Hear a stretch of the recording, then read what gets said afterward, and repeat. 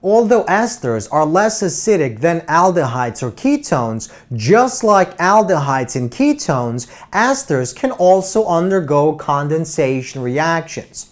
Now recall in our discussion on aldehydes and ketones, when aldehydes and ketones react with bases, they can produce molecules known as aldols or beta hydroxy molecules. Now in a similar way, esters can also undergo reactions in the presence of a base to form a condensation product known as the beta ketoester. And this reaction is known as the Claisen condensation. So in the Claisen condensation, we basically take esters, react them with some type of base to produce the beta ketoester. And let's begin by examining the first uh, step of this reaction mechanism. So let's begin with our step number one.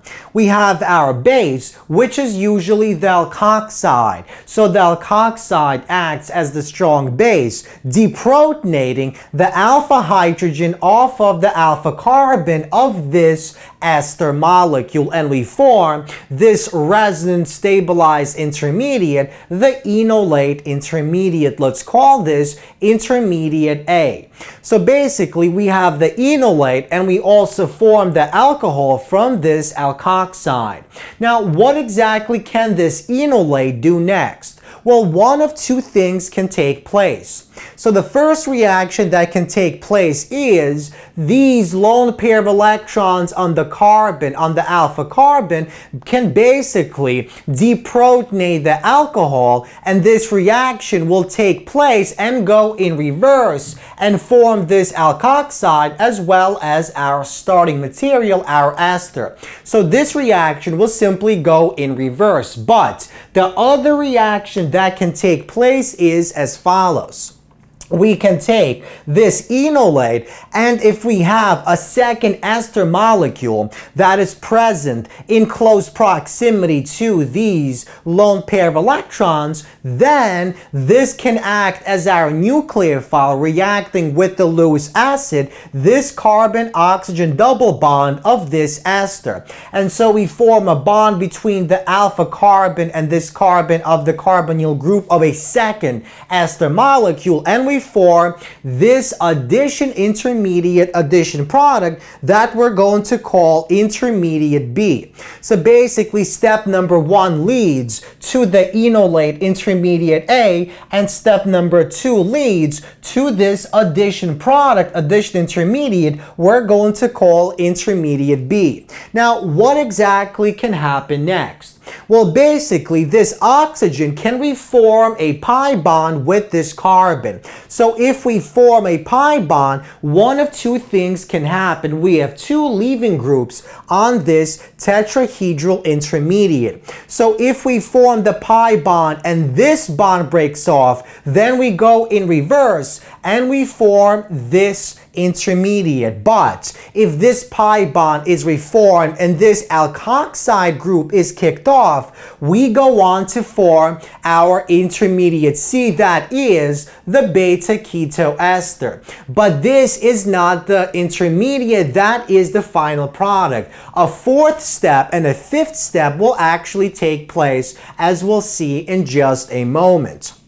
Now, let's go back to this reaction for just a moment. Notice that this arrow is shorter than this arrow, and that's because this is thermodynamically more unstable and higher in energy than our starting material. So if we look on the following energy and reaction progress axis, where this is the energy axis, if this is the starting material, then intermediate A is higher in energy than our starting material. Now, if we go on to form uh, intermediate B, intermediate B is somewhere here. It's also higher in energy and less stable than our ester in, uh, than our ester starting material.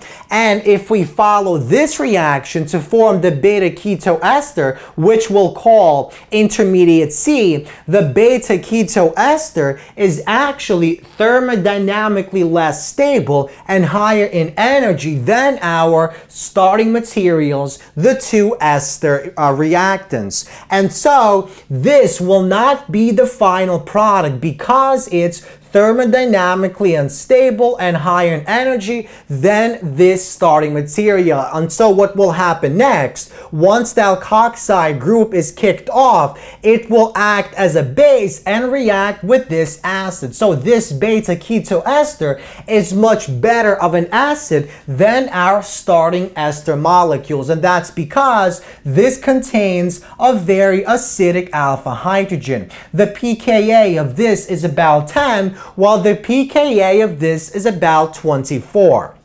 So this is, however, not the final step. The beta keto ester is higher in energy and less stable than the two starting materials are our two esters. So therefore, to lower the energy of the beta keto ester, the alkoxide will deprotonate the alpha hydrogen of this beta keto ester to form a resonance stabilized anion that is lower in energy and more stable than our starting material, these two ester molecules. So basically, if this alkoxide formed in this step deprotonates the alpha hydrogen, one of these alpha hydrogens, we produce a resonance stabilized molecule, the anion, that contains three different resonance stabilized structures. So we see that the negative charge can basically be placed onto this carbon, th uh, this oxygen, or this oxygen. Now, this is step number four. We basically form the product D, or actually the intermediate D, that is lower in energy than our initial starting materials.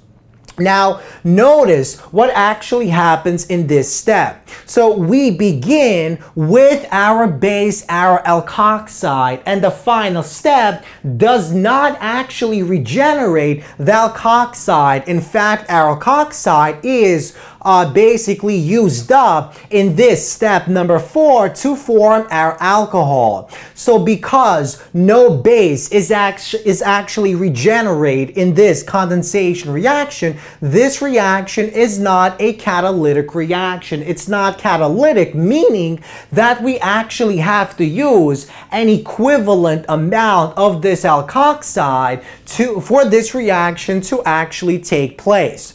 And in the final step, to basically form the beta keto ester, we take this resonance stabilized anion, intermediate D, and we react it with hydronium in the presence of water, which basically acts to protonate this carbon, this alpha carbon, and we form the final product, the beta keto ester. And even though the beta keto ester is higher in energy than the starting material, there is no more base present in our mixture for the reaction to go back in reverse. Because all the base, all the, uh, all the alkoxide that we began with initially was basically used up in step number four. Because we went from the alkoxide to form the alcohol.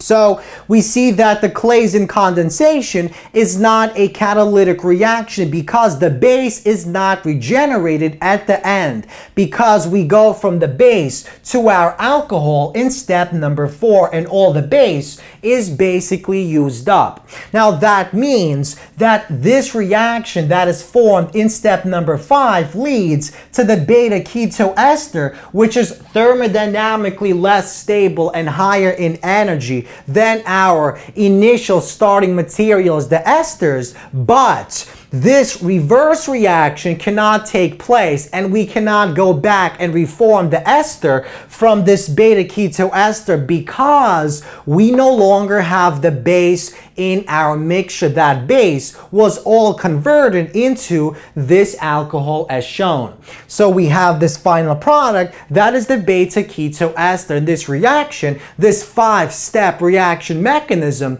So step one, step two, step three, step four, 4 and step 5 is known as the Claisen condensation.